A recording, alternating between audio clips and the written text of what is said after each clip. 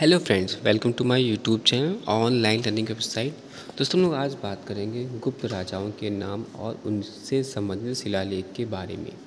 तो सबसे पहले बात करते हैं यहाँ पर समुद्रगुप्त के बारे में। दोस्तों, जैसे कि आप यहाँ पे देख सकते हैं समुद्रगुप्त समुद्रगुप्त जिसमें कि उनके शिलालेख के नाम की बात करते हैं तो इलाहाबाद, जिसको हम लोग बोलते हैं और आजकल प्रयाग प्रयाग प्रशस्ति, एरन पत्थर का स्तंभ, नालंदा कॉपर प्लेट और गया कॉपर प्लेट समुद्रगुप्त के जो शिलालेख के नाम है, इलाहाबाद, यानी प्रयाग, प्रशास्ति, एरन पत्थर का स्तंभ, नालंदा कॉपर प्लेट और गया कॉपर प्लेट।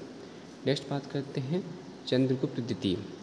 चंद्रगुप्त द्वितीय के बारे में बात करते हैं तो चंद्रगुप्त द्वितीय की बात करेंगे तो चंद्रगुप्त द्वितीय में आपका आता है, मोहरोली लौ स्तंभ। चंद्रगुप्त द्वितीय किससे संबंधित है यहाँ पर? आपको ध्यान रखना है, मोहरोली लौ स्तंभ से संबंधित उनका शिलालेख है।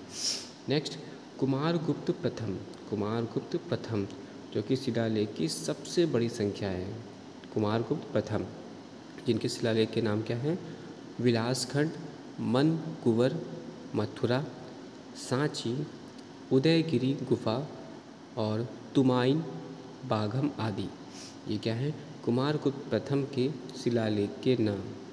नेक्स्ट बात करते हैं, स्कंदगुप्त। स्कंदगुप्त स्कंदगुप्त की बात करते हैं तो इनके शिलालेख हैं जूनागढ़, चट्टान, इंदौर, कॉपर, प्लेट, भित्री, स्तंभ, कहम और सूफिया।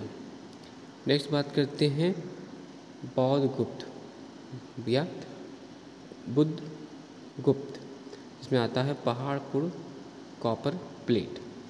तो दोस्तों, ये थे गुप्त राजाओं के नाम, जिसमें समुद्रगुप्त, चंद्रगुप्त द्वितीय कुमारगुप्त प्रथम, शिलालेख की सबसे बड़ी संख्या, और स्कंदगुप्त और बुद्धगुप्त, जिनके शिलालेख बात की जाए तो हमने बात की समुद्रगुप्त में, जिसमें कि इलाहाबाद, प्रशास्ति ईरन पत्थर का स्तंभ, नालंदा कॉपर प्लेट और गया कॉपर प्लेट संबंधित है, जबकि चंद्रगुप्त द्वितीय का मोहरौली लौह स्तंभ कुमार गुप्त का विलासखंड, मनकुवर, मथुरा, सांची उदयगिरी, गुफा, तुमाइन और पाघम आदि संबंधित है, जबकि स्कंदगुप्त का जूनागढ़ चट्टान, इंदौर, कॉपर प्लेट, भित्री स्तंभ और कहम सूफिया, बुद्धगुप्त का Paharpur copper plate. Thanks for watching sharing